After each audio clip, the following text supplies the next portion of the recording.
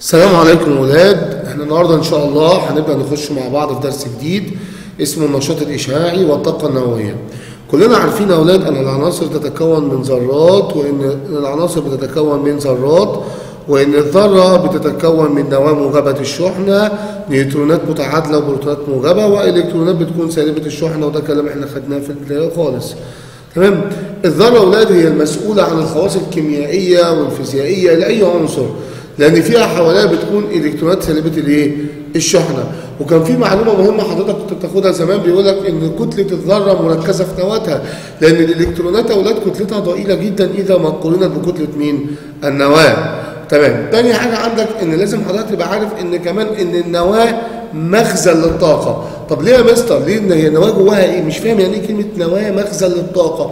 قال لك النواة دي جواها طاقة كبيرة جدا جدا اللي هي قوة الترابط بيسموها عندنا قوة الترابط النووي اللي هو قوة الترابط اللي موجودة وبتحافظ على استقرار العنصر.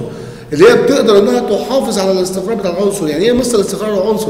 يعني مثلا أولاد إن الصوديوم عند حضرتك بيكون إن 11 ال إن 11 ده طول عمره بيفضل إن 11 عمره ما بيتغير.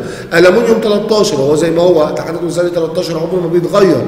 بقى خرسين 30 عمره ما الخرسين هيتغير هيبقى 31 فهو ده معنى كلمة استقرار العنصر. طب إيه اللي بيخلي العناصر بتحافظ على استقرارها بالفترة الكبيرة دي أو بالمنظر اللي إحنا شايفينه ده. قال لك العناصر بتحافظ على استقرارها بسبب القوة اللي موجودة جواها اللي هي اسمها قوة الترابط النووي واللي هي وظيفتها أولاد إنها تتغلب على قوة اللي هي التنافر. عشان كده لما يجي لك سؤال لك علل ماشي النواة مخزن للطاقة هتقول له إيه؟ هتقول له نواة مخزن للطاقة.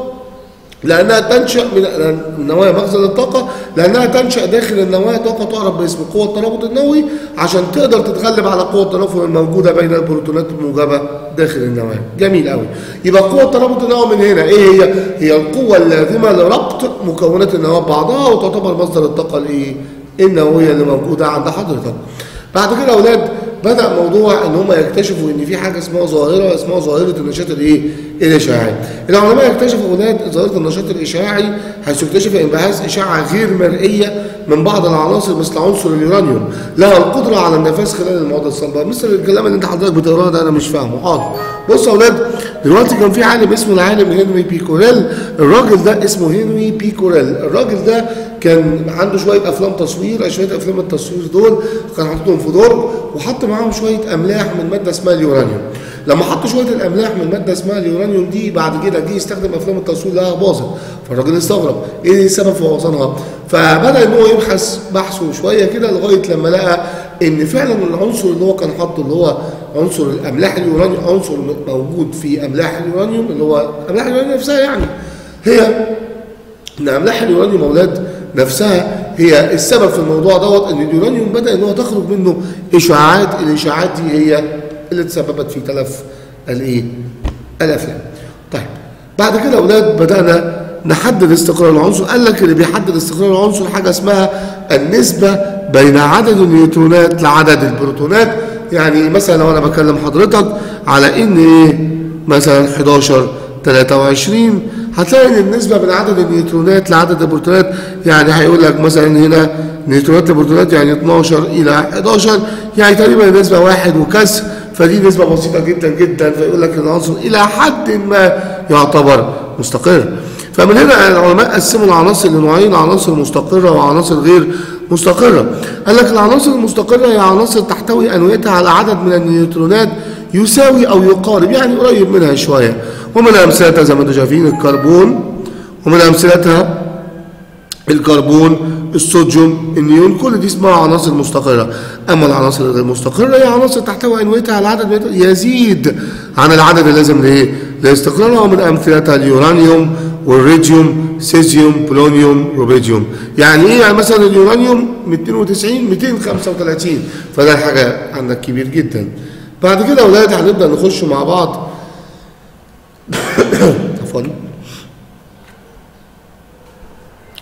بعد كده يا أولاد هنبدأ نخش مع بعض على حاجة اسمها الاستخدامات السلمية للطاقة النووية. اسمها الاستخدامات السلمية للطاقة النووية. تعالوا كده نشوف مع بعض واحدة واحدة يعني إيه كلمة استخدامات سلمية للطاقة. بيقول لك يا أولاد إن في حاجة اسمها استخدامات سلمية للطاقة النووية، الطاقة النووية بيستخدموها في مجالات كتير جدا. أول مجال بتقدر تستخدم فيه الطاقة النووية هو مجال الطب. قال لك أول مجال هو عبارة عن مجال الطب. وهو بيستخدم في تشخيص وعلاج بعض الأمراض كالسرطان. تمام؟ تاني حاجة مجال الزراعة. هو بيقضي على الآفات الزراعية وتحسين سلالات بعض النباتات. مجال الصناعة بكشف عن عيوب المنتجات الصناعية وتحويل الرمال إلى شرائح السيليكون المستخدمة في أجهزة الإيه؟ الكمبيوتر. بعد كده أولاد في مجال توليد الكهرباء قال لك انت عندك اي تفاعل نووي موجود في الكون بتطلع منه طاقة حرارية الطاقة الحرارية دي بتسخن المية اللي حوالين المفاعل النووي فالبخار بيطلع يبدأ ان هو يتمر على حاجة اسمها توربينات بتولد كهرباء. بعد كده مجال استكشاف الفضاء في مجال استكشاف الفضاء بيستخدم كوقود نووي مين اولادها للصواريخ التي تصل القمر أو تجوب الفضاء. مجال التنقيب اللي هو تنقيب عن البترول والمياه الايه الجوفية. بعد كده أولاد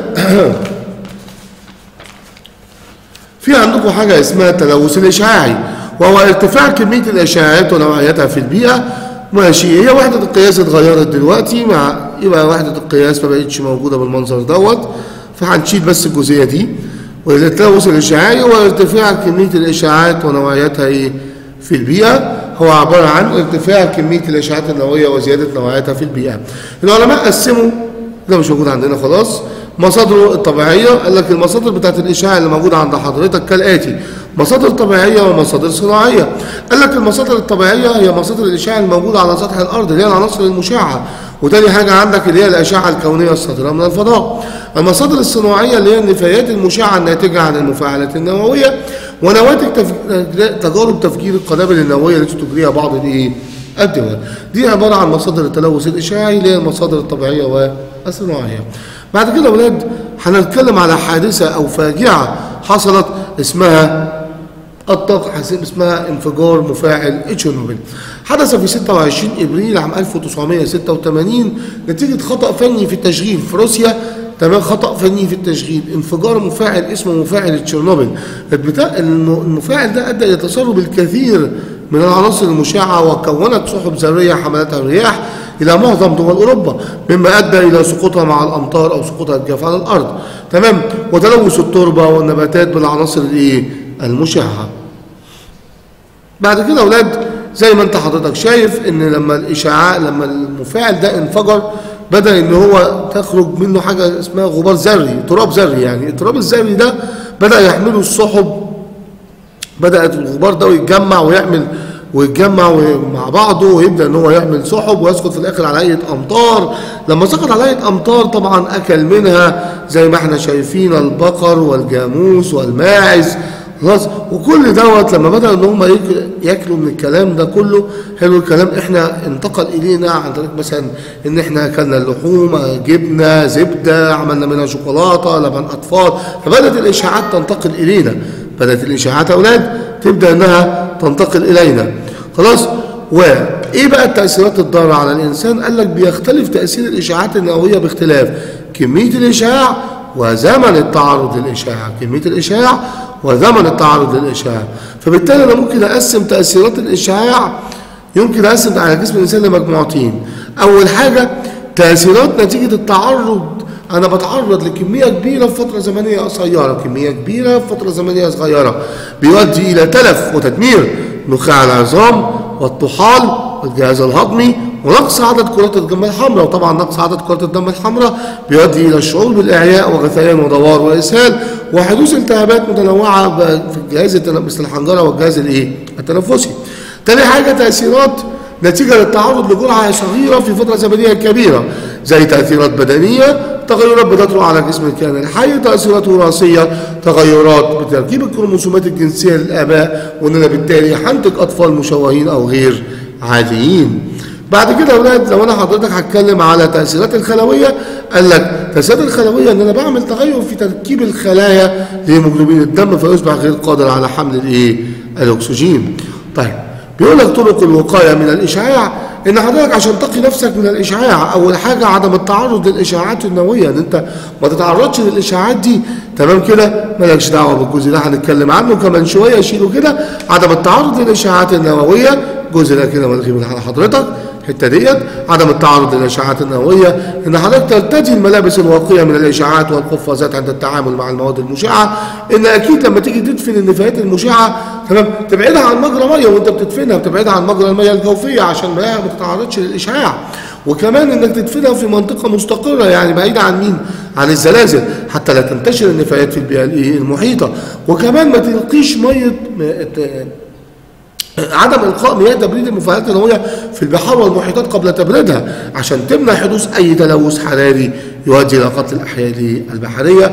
وإحنا بن- بنتخلص من النفايات النووية بعدة طرق اعتمادا على قوة الاشعاعات الصادرة منها. فالنفايات اللي ذات الاشعاعات القوية تدفن على أعماق كبي- كبيرة والنفايات ذات الاشعاعات الضعيفة تدفن في بطن الأرض بعد إحاطتها بطبقة من الأسمنت أو الصخور.